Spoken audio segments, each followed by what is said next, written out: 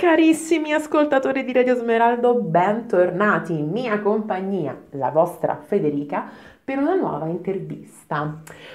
Oggi avremo con noi un ragazzo, un ragazzo che ha partecipato ad un format televisivo che ci è piaciuto tantissimo e che soprattutto seguiamo in una certa maniera e soprattutto con un certo trasporto. Prima di iniziare ci tenevo a ringraziarvi perché il mio ritorno in radio vi è piaciuto tantissimo, mi avete scritto in tantissimi sul mio Instagram e a proposito di social, ricordatevi di seguirci sui nostri canali Radio Smeraldo e di iscrivervi al canale YouTube per rimanere sempre aggiornati su tutte le nostre interviste. Tornando al nostro ospite speciale, quindi con grande entusiasmo do il benvenuto a Luca Gobelli, direttamente dal collegio. Ciao Luca! Ciao ragazzi, ciao a tutti. Allora, diciamo un po', questa esperienza è stata davvero incredibile, mi dicevi, no? Sì, è stata un'esperienza che se posso la vivrei altre cento volte. Senti, ma tu conoscevi già il programma? Cosa ti aspettavi prima di entrare a far parte del collegio? Ma io lo conoscevo a tratti, perché comunque le sorprese sono state tante quest'anno. E quindi diciamo che lo schemino che avevo in testa non l'abbiamo seguito per niente. ed, è, ed è anche meglio così. Perché possiamo sapere qualcosina di questo schemino che avevi in testa? Eh, perché diciamo che le prime due edizioni visto io sono sempre state uguali, ad esempio ci sono state le, Olimp- le Olimpiadi, ci sono state altre cose comunque erano già programmate. E quindi ho detto tra me e me ci sarà anche per me il momento di fare l'Olimpiadi dello sport o, com- o come altre cose, dato che è cambiato praticamente tutto quest'anno e, e niente, questa Perfetto, moltissime delle tue fan si sono, tra virgolette, innamorate di questo tuo animo ribelle, così eh, particolare, no? Sei stato abbastanza difficile da gestire e ci hai letteralmente incantato. Ma com'è stato rivederti però in televisione una volta che sei tornato a casa? Eh, eh, vedermi in televisione era tipo un'emozione davvero grande, soprattutto per me e per la mia famiglia, cioè vedermi su Rai 2 è davvero emozionante. Poi rivedere tutto quello che è successo a me è uscita anche la lacrimuccia. Wow! Sì, sì, sì, perché sono davvero lì dentro lì con certe persone come se fossero tuoi, tuoi fratelli. Arrivata al punto a condividerci davvero tutto, perché entri che non li conosci ed esci che davvero hai un legame proprio come, come io ce l'ho con mia sorella. Appunto, proprio perché stiamo parlando di questi legami che si sono formati, no? Con chi conservi i ricordi migliori? Quali sono state le persone che veramente ti porterai avanti per tutta la vita? Ah, sicuramente Alice De Bortoli.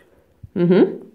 Sicuramente lei perché, dato che lei è entrata con me, abbiamo superato delle difficoltà insieme, unendoci sempre di più quindi diciamo che un programma lo devo anche a lei.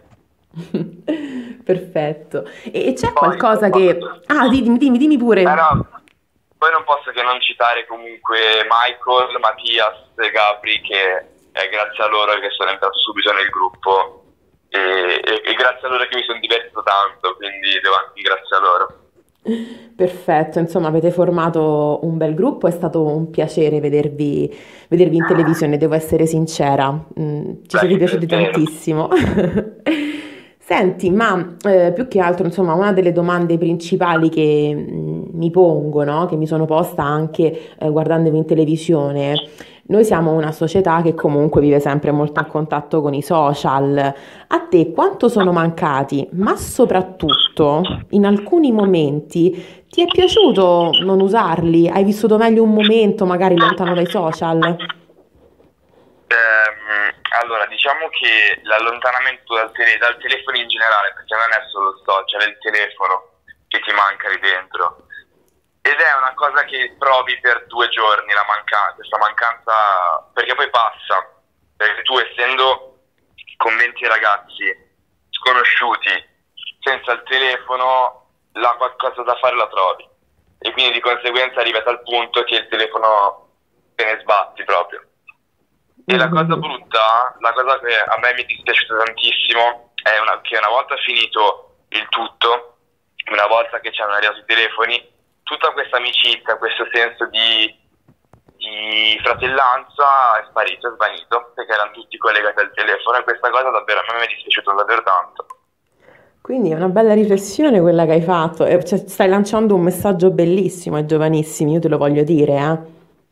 E spero tanto che in tanti lo capiscano perché davvero se, se provate a fare anche solo due giorni senza un telefono e siete in tre in casa riuscite a, ad arrivare a tal punto di legare così tanto come, come se foste fratelli.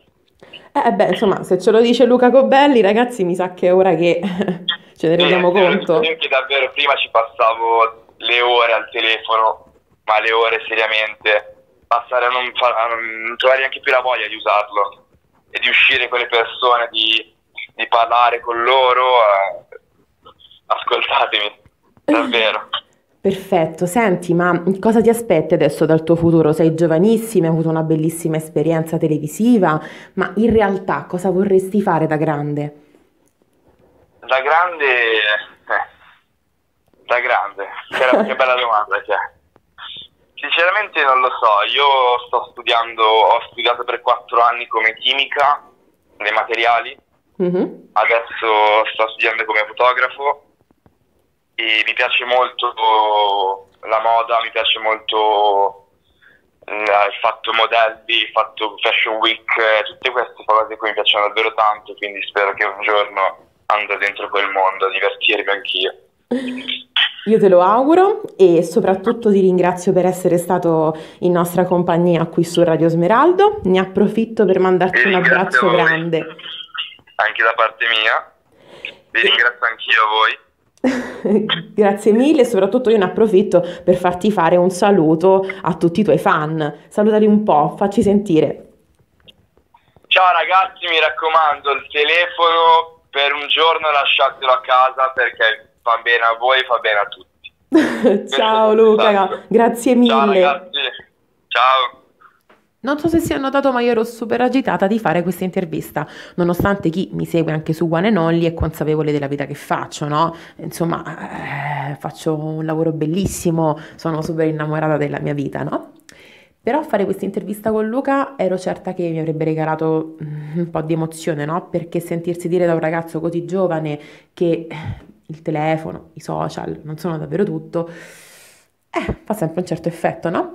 Quindi Luca io ti ringrazio, ragazzi ringrazio voi per essere stati in nostra compagnia, io sono la vostra Fede e vi aspetto alla prossima intervista.